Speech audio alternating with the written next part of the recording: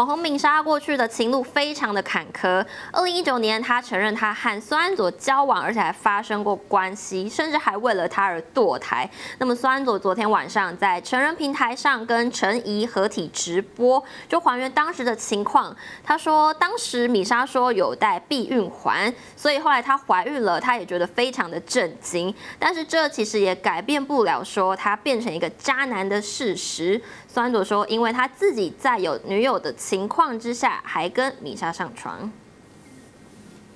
孙安佐坦言，他二零一八年有点不太懂事，很相信女生说的话，结果惹出一大堆问题。现在一定会戴保险套，比较保守。再度讲起米莎风波，他说差一点就被女生的嫉妒心给毁掉。加上有时候他爱太多，有些女生会害怕失去他的感觉。再加上米莎也被他的老板搞，所以米莎才会把这件事情爆开。佐跟陈怡昨天在这个 Swag 平台直播的时候，他除了大谈他的这个约炮啊，还有第一次等等经验哦。但是呢，当陈怡问到他关于这个前女友的事的时候，孙安佐是突然变脸，他就反问陈怡说：“你要不要跟我打拳击呢？”还问说：“你有没有性幻性幻想过我？”那陈怡是立刻回答说：“没有幻想过，因为感觉好像是在犯罪。”不过呢，他也立刻答应了孙安佐的拳击邀约，两个人直接上演肉搏战，让整段直播画面看。起来来超荒谬。陈毅开黄腔说：“我们打一场有安全措施的，我有带避孕环。”而两个人就接着直接开始对打。轮到陈怡进攻时，他还猛打孙安佐的头部，直呼真的很爽。而孙安佐则是评比陈怡表现，说他一定比一般女生厉害，欢迎来随时跟我运动。另外，孙安佐在直播当中也数度澄清自己的精神并没有异常，还说愿意去做鉴定来打脸酸民。另外，陈怡提起孙安佐曾经说过自己在二十五岁时要干大事，引起外界恐慌。孙安佐则是语带轻松的说：“厉害的人不代表可以随便搞事，我的大事绝对不是恐惧，因为越高的越强的人越有限制，我对自己限制超多，比如说我的道德标准很高，我不干偷。”鸡摸狗的事，我从回来之后就没有再说谎。我是一个很真实的人。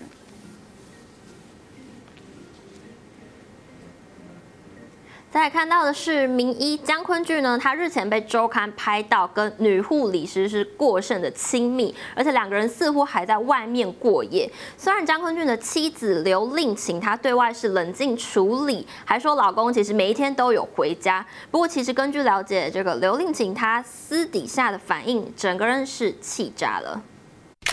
已婚名医张坤俊近日遭曝与一名熟女护理师约会过夜。虽然他的妻子刘令晴声明张坤俊每天都有回家，对外力挺老公，但根据《镜周刊》报道，刘令晴私下简直气炸，这名熟女小三还摆出正宫姿态。回顾刘令晴过往上节目就说过，张坤俊在家不做事，不仅东西乱丢，还不会收拾。张坤俊也曾报老婆刘令晴这个名字是改过的，因为命理师说家庭会兴旺，但代价是身材会变胖。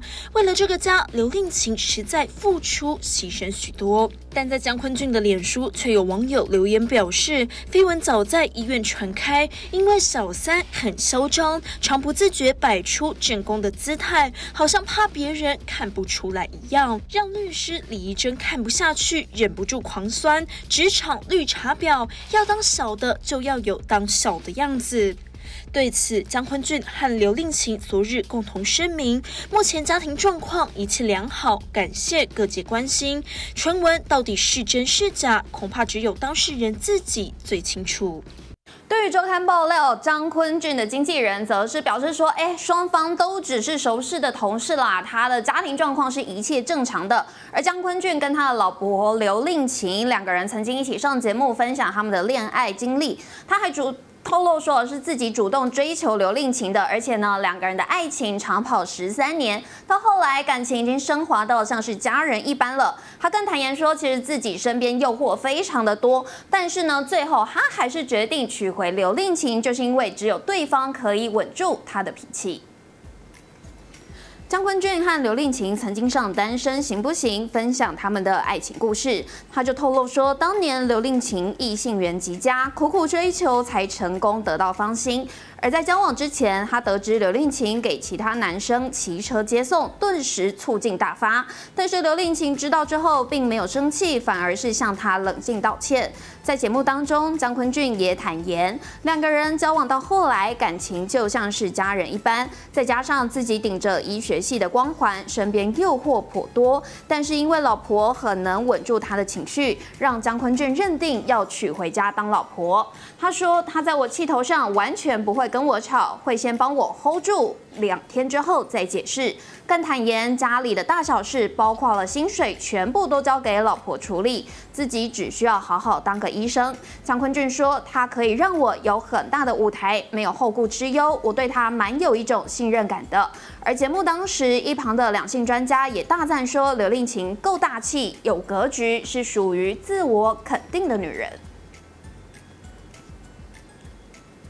转换焦点来看到的是财经消息，相信今天有很多投资人应该都嗨翻了，因为这个护国神山台积电今天的股价竟然冲破了一千元，那么最高呢，这个盘中目前最高是来到了一千零五元哦，真的是大涨了二十六元，让许多投资人应该都是非常的兴奋。台积电今日股价突破千元大关，早盘最高来到了一千零五元。而回顾台积电今年股价走势，从一月二日开盘五百九十三元起，在 AI 利多的加持下，一路飙涨至一千零五元新高，涨幅将近七成。除此之外，台积电更是月月收红，曾经在六月写下单月大涨百分之十七点七的记录。而截至六月二十八日，台积电的股东人数已经突破了一百二十四点六万人。除了台积电大涨突破历史新高之外呢，名列黄仁勋概念股的汇友也是连续涨停哦。它从四号一开盘的时候，它就再次跳空涨停到了一百零八元，冲破了三位数，也写下了历史新高。因为呢，它从五月三十一号的收盘价二十五点八元，一路上涨到今天一百零八元，短短一个多月，它就大涨了将近三点一倍，还被证交所盯上，列为是注意股，备受关注。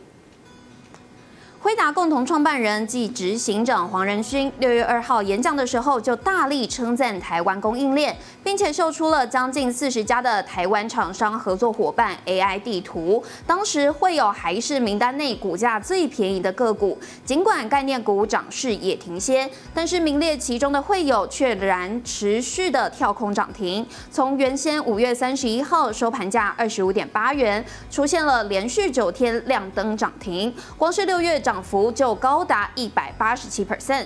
虽然会有在六月中下旬被关紧闭列为处置股，但在七月一号出关之后，它也一度重挫将近七 percent。不过当天盘中，它仍然强拉到涨停价八十一点四元。近期外资又对会有情有独钟，连十个交易日买超，三大法人合计买超九百零六张。而证交所在七月三号也公告，将会有列为注意有价证券资讯。会有最近六个营业日的累积收盘价涨幅高达三十二点六八 percent，而且七月三号的成交量是最近六十个营业日的平均成交量的六点三一倍。最近三十个营业日起计两个营业日收盘价涨幅高达两百八十三点六二 percent。会有主要业务是工业电脑、影像分析，所属的产业是光电业。近年它往车载领域转型，聚焦在智慧交通解决方案。从二零二二三年已经连亏七年了，不过目前看到营运从亏损逐步转盈的迹象，累计今年前五个月营收一点八九亿元，年增二十二 percent。AI 概念股的股价呢是不断的飙涨，不过其实经济部长郭志辉呢最近就有说到，其实现在 AI 这么夯，但是却都没有就是要在增设电厂这个事情。对，那么最近呢这个停电还有跳电的事情也不断的在发生，虽然说就是。